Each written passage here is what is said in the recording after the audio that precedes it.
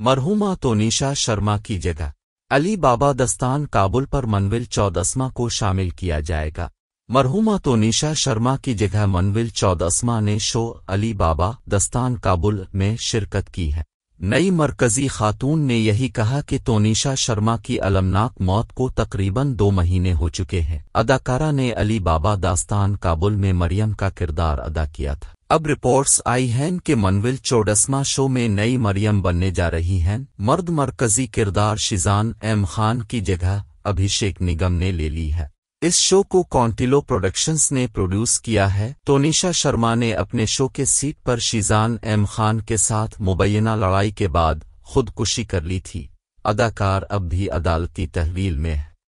मजीद update जानने से पहले अब से गुजारिश है, हमारे यूट्यूब चैनल को सब्सक्राइब करें और बेल आइकन को दबाएँ। शुक्रिया।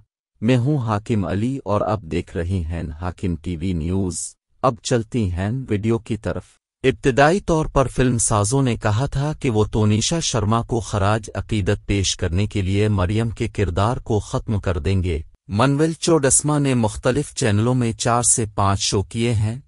उनका आखिरी प्रोजेक्ट बुर्ज के गोपाल शो था ये दंगल टीवी पर आया था। मनविल चोडस्मा ने ई टाइम्स टीवी से बात करते हुए कहा कि अली बाबा का हिस्सा बनना एक हकीकी एहसास था। उन्होंने कहा कि हिंदुस्तानी टीवी पर एक मरूफ खातून की हैसियत से ये उनका चौथा शो था। उन्होंने कहा कि वो घबराई हुई नहीं थीं, लेकिन अपनी अदाकारी के जौहर दिखाने के लिए बहुत पुरजोश मनविल ने शूटिंग शुरू कर दी है, पुराने सीट को बंद कर दिया गया है, क्योंकि पुलिस ने इसे क्राइम सीन की तरह संभाल लिया था। अब वो एक आरजी सीट पर शूटिंग कर रहे हैं। मनविल चोडस्मा ने कहा कि तोनीशा शर्मा की जगह लेना सही इस्तेला नहीं होगी। उन्होंने कहा कि वो किरदार में एक नया नुक्ता नज़र लाएँगी। उन्होंने कहा कि वो कभी भी मरियम के तौर पर तोनीशा शर्मा की जगह नहीं ले सकती है। मनविल ने कहा कि उन्हें उम्मीद है कि मद्दा उन्हें इतना ही प्यार देंगे जितना उन्होंने तोनीशा शर्मा को दिया था। अदाकारा का इंतकाल दिसंबर के आखिरी हफ़्ते में हुआ था। पूरी कौम सदमे में थी।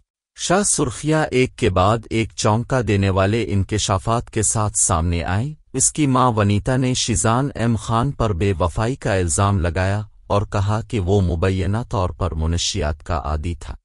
मेरी ये वीडियो आपको कैसी लगी?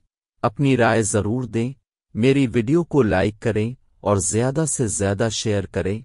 मिलते हैं नेक्स्ट वीडियो में, गुड बाय।